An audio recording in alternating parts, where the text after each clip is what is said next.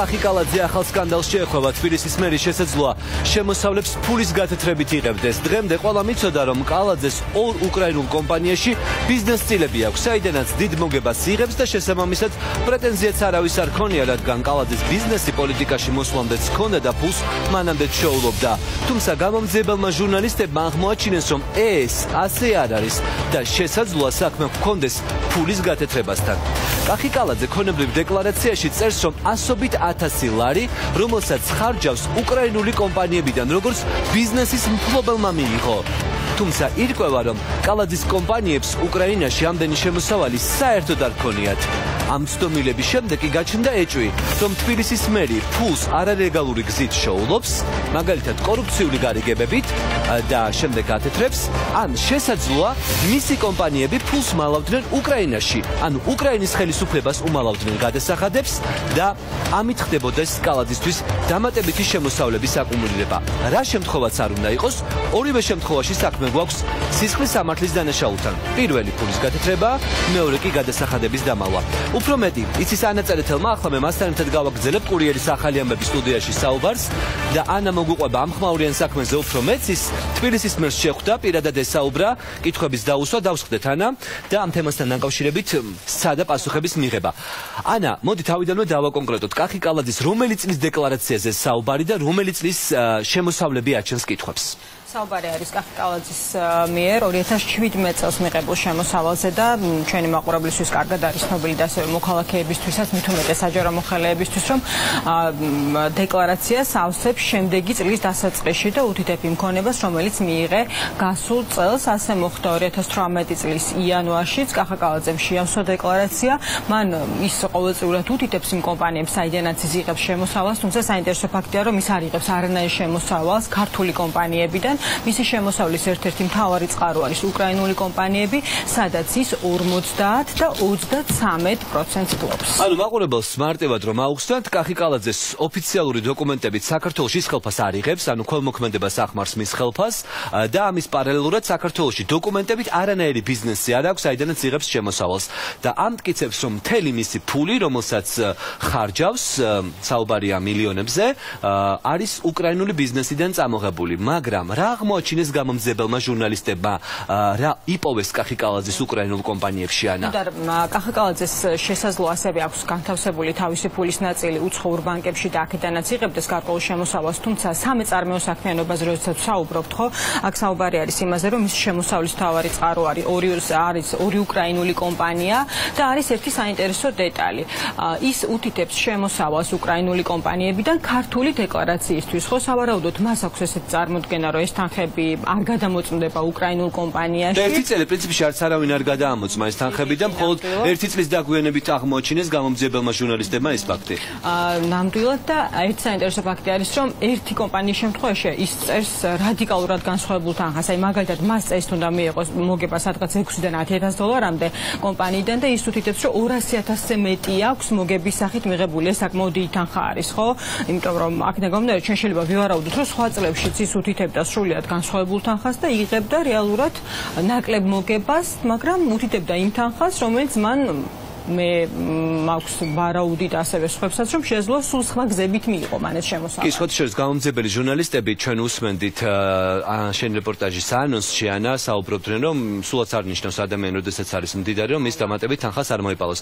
კახი კალაძის მიერ შევსებული დეკლარაცია საქართველოს არის ოფიციალური დოკუმენტი და შესაძლოა ეს დოკუმენტი გახდეს მტკიცებულება დამატებითი კახი კალაძის ბიზნესის წინააღმდეგ უკრაინაში, რადგანაც ორი ვარიანტია შეიძლება კახი კალაძე პირნათლად წერს ნამდვილად რა შემოსავალის მიიღო, უბრალოდ უკრაინაში ხდება გადასახადების დამალვა და არ უთითებენ სწორად იმ მოგებას, რომელსაც ეს კომპანიები იღებენ. ანა, რა რეაქცია ქონდა კახიკალაძის, როდესაც ამ დოკუმენტებით მიხოდი შენ მასთან შესახვედრად?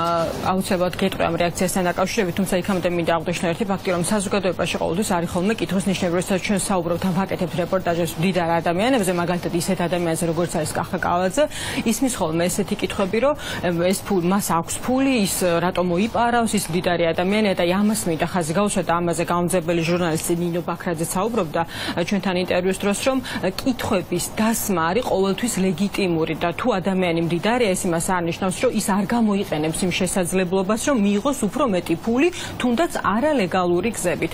რაც შეეხება კახაკალაძის რეაქციას, ჩვენ მასთან მივედით დოკუმენტებით, მათ შორის აი ეს არის ორი დოკუმენტი, რომელიც მე ხელში მეჭირა და პლუს ერთი მისი დეკლარაცია, რომელიც მან დარწმუნებული ვარ ძალიან კარგად იცის და ჩვენ უბრალოდ მარტივ ფაქტებზე ვთხოვდით მას განმარტებას. ხო ძალიან ადვილი არის, როდესაც ხელში გიჭირავს დოკუმენტები, ამ დოკუმენტებში წერია ციფრები, შეგიძლია შავი თეთრზე დატანილი ციფრები ერთმანეთს შეადარო, იღებს სხვაობას და საუბარი არის მილიონ ნახევარ ლარზე, ანუ არარსებულ შემოსავალზე რეალურად ამ უკრაინული კომპანიები და რომელსაც ის მიაწერს უკრაინულ კომპანიებს და ამ დროს თბილისის მერე პასუხობს, რომ მას უბრალოდ არ უნდა ამ თემაზე განმარტების აქ არის ერთი საინტერესო დეტალი, მე მაყურებელს მინდა განუმარტო, რომ ჩვენი რეპორტაჟი, რომელსაც ახლა თქვენ ეთერში ნახავთ, მომზადებულია პრესაჯი ჟურნალისტურ მოკვლევებზე დაყრდნობით და შესაბამისად, ვიდრე ჩვენ მივიდოდით თბილისის მერმა, მერთან მანამდე პრესაჯი ჟურნალისტებმა სცადეს, რომ მოეპოვებინათ თბილისის მერისაგან ამ კითხვებთან დაკავშირებით პასუხი. კახკალაძე ინფორმირებული იყო, რომ მედიას ჰქონდა კითხვები მის უკრაინულ ბიზნესებთან დაკავშირებით, პრესამსახურს დაუკავშირდა პრესაჯი.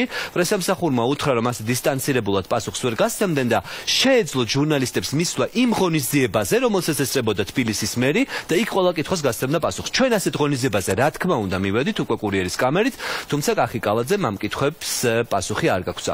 მოკლედ, საიდან შოულობს ფულს თბილისის მერი და რა ეჭვები ჩნდება მის შემოსავლებთან დაკავშირებით, უფრო მეც თქვენ ახავთ ანა წერეთელის რეპორტაჟში.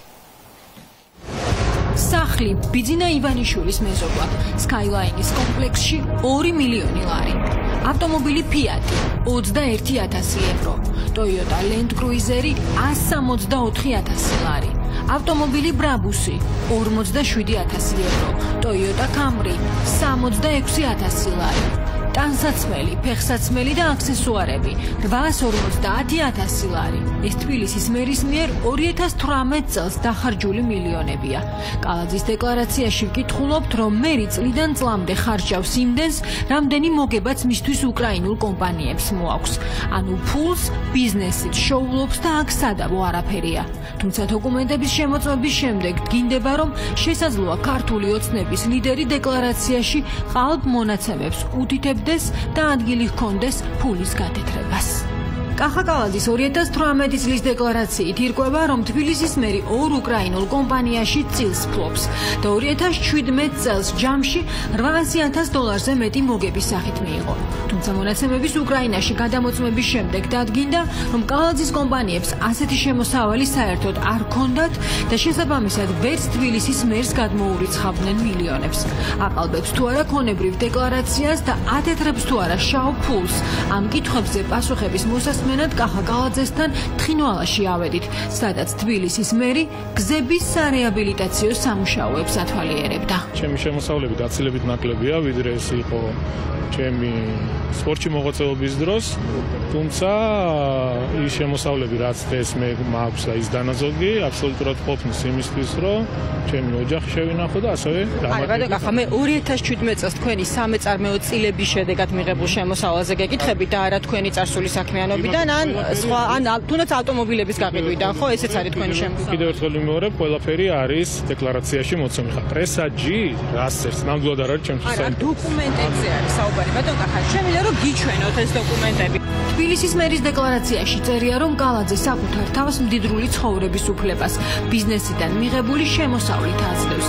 ის უკრაინული Nest Group-ის ერთ-ერთი მფლობელია და მოგების სახით 2017 წელს 280000 ევრო მიუთითა. მაგრამ დოკუმენტები, რომელიც კალაძის შემოსავლებზე კითხებს ბადებს, პრესაჯიმ კიევიდან მოიპოვა. ის 50%-ს ფლობს უკრაინულ კომპანია Nest Group-ში. ამავე დეკლარაციაში წერია, რომ მან 2017 წლის განმავლობაში ამ კომპანიიდან მიიღო 280.000 ევროს ოდენობის შემოსავალი. თუმცა ჩვენ დავადგინეთ და ეს დასტურდება ოფიციალური დოკუმენტებით, რომ კომპანია Nest Group-ს ამ იმ წელს არ ჰქონდა ამ ხელა მოგება. უფრო მეტიც მისი მოგება იყო დაახლოებით 20000 დოლარი.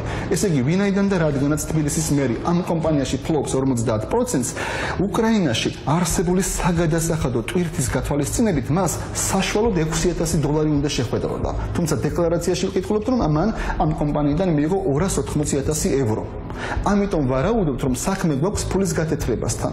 კალაძემ შესაძლოა კორუფციული გარიგებებით იშოვა თანხა, მაგრამ ამ უკანონო შემოსავლის ლეგალიზაცია რომ მოახდინა, ჩაწერა რომ თითქოს ეს თანხა მიიღო უკრაინული კომპანიაში არსებული წილიდან, როგორც დივიდენდი.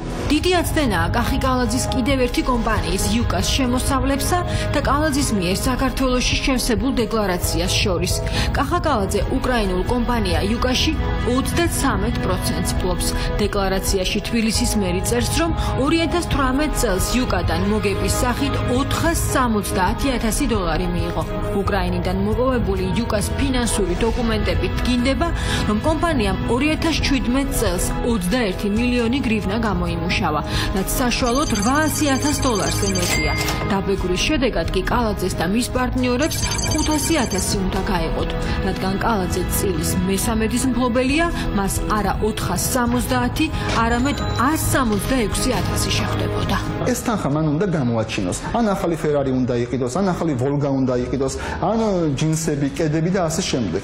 ეს თანხა რომ გამოაჩინოს, მას ამიტომ სჭირდება ფულის გათეთრება. ამიტომ სჭირდება ამ უკანონო შემოსავლის ლეგალი ლეგალიზაცია და თუ ჩაწერს დეკლარაციაში რომ აი ეს ამოდენობის ლარი ან დოლარი ან ევრო მან მიიღო უკრაინული კომპანიებისგან როგორც დივიდენდი მაშინ მას თავისუფლად შეუძლია ამ ამ ამ თანხის გამოყენება ამაშია საქმე რატომ არ ემთხვევა უკრაინული კომპანიების მიერ მიღებული შემოსავლები კალაძის მიერ დეკლარაციაში მითითებულ მოგებას.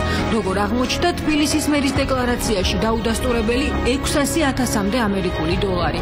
ამ კითხვით თბილისის მერთან ჩვენ კიდევ ერთხელ მივედით კალაძე პრესაჯის გამოქვეყნებულ ინფორმაციას არენდობა, თუმცა ჩვენ ხელში დოკუმენტები და მათ შორის მერის მიერ შევსებული დეკლარაციაც გვიჭირავს, სადაც ყველაფერი შავით თეთრზე წერია.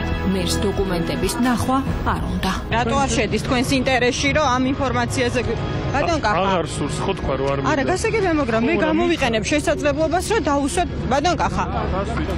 მართლა მაინტერესებს, ანუ დოკუმენტები შემიძლია რომ გიჩვენოთ და ჩვენ შატი. დიახ, ჩავწერ ხალხილებია. ბატონ კახა, შეიძლება რომ დაგისვათ კითხვა?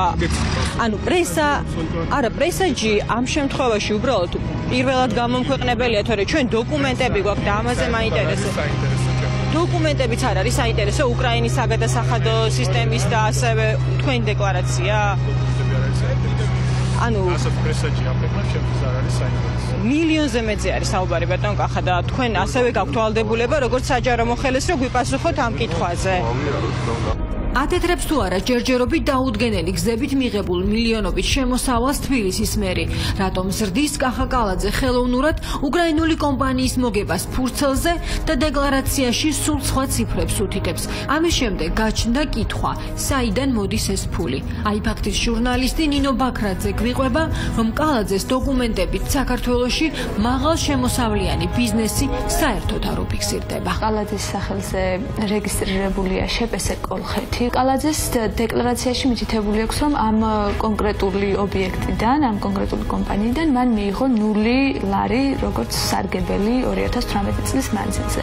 გარდა ამისა, კალაძე არის პრეზიდენტი არასამეწარმო იურიდიული პირისა, როგორც არის თვით საქართველოს ადგილობრივ თვითმმართველობათა ეროვნული ასოციაცია, საიდანაც სავარაუდოდ მოგება და შემოსავალი არ ექნება. შემოსავლის წყაროები უნდა იყოს გამჭვირვალე, იმიტომ რომ მე რატო უნდა ვიყო 100%-ით დარწმუნებული, რომ ის თუ მდიდარია, ამის გამო არ მოიპარავს, ან არ მიიღებს რაღაც ირიბ შემოსავლებს, ანუ მე უნდა მქონდეს მტკიცებულება ამის, რომ ის მართლა არ არ იღებს, თქვა, გარკვეული სხვა არხებით შემოსავლებს.